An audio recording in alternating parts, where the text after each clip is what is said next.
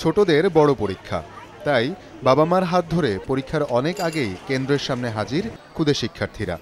প্রশ্ন কঠিন হলেও আমি পারব আমার প্রিপারেশন অনেক ভালো। যদি আমি না পারি এই জন্য কিন্তু আমি পারি কিন্তু ভয় করে। কিন্তু পঞ্চম শ্রেণীতেই এমন পরীক্ষার যৌক্তিকতা নিয়ে আবারও প্রশ্ন তুললেন অভিভাবকরা।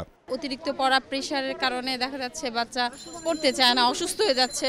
আপনি যত অফিস আদালত যান পিএসসি তোর কোনো রেজাল্ট দেখে না। পরীক্ষা শেষে প্রশ্নপত্রে কিছু ত্রুটির কথা জানালো শিক্ষার্থীরা। এক নম্বর চার নম্বর দশ নম্বর। এখানে ছবি নিয়ে কথা হয়েছে কিন্তু প্যাসেজে কোনো ছবি দেওয়া ছিল না। How old is the birthday girl in the picture এখানে যেহেতু ই পিকচার দেওয়া নেই এজন্য বোঝা যাচ্ছিল না যে কোনটা হবে। এটা উচিত টিচারদের মনোযোগ দেওয়া যে ভুল হচ্ছে যেহেতু তারা এটা সমাধান করবে। বাইরে বাচ্চারা শুনব যে আমার পরীক্ষা ঠিক হয় নাই তাদের ভিতরে আরেকটা আতঙ্ক ঢুকে যাবে। বলতে পারছি না এটা। ঠিক কি হবে? আসলে এমন ঠিক না বেঠিক এটা বলার বয়স কিন্তু এই বাচ্চাদের নেই। কেননা এখানে দশ নম্বর প্রশ্নের উত্তর খুঁজে নিয়ে সেটিকে এক নম্বর উত্তর দেয়া।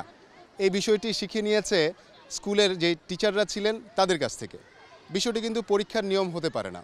অভিভাবকরা বলছেন, যারা প্রশ্নকর্তা তাদেরকে আরও বেশি সচেতন হতে হবে যাতে এরকম পিএসসির মতো ছোট বাচ্চাদের প্রশ্ন করতে গিয়ে এমন কোনো ভুল না থাকে। সকালে অগ্রণী স্কুল পরিদর্শনের সময় প্রাথমিক ও গণশিক্ষা মন্ত্রী বললেন প্রশ্ন ফাঁসের কোনো সুযোগ নেই। কত প্রকার সেট দিয়ে কীভাবে করে করে বিভাজন করে করে আমরা এক জায়গায় এনেছি আট সেট প্রশ্নের মধ্যে। এটা কেউ কোনোটা কেউ বলতে পারবে না। অথচ একাধিক শিক্ষার্থীর কথায় সন্দেহ ঘনীভূত হয় প্রশ্ন ফাঁসের। তোমরা জানতা যে এটা আসবে? কীভাবে জানতা? নেটে রেখেছি। নেটে পেয়েছ? নেটে কোথায় দেখেছ? হ্যাঁ দেখেছি এক জায়গায়।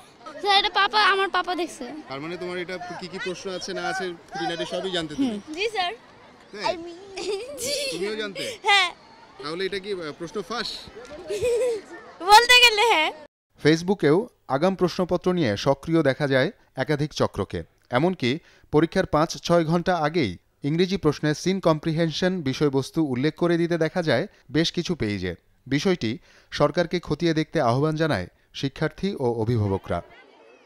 শওকত মঞ্জুর শান্ত, যমুনা নিউজ, ঢাকা।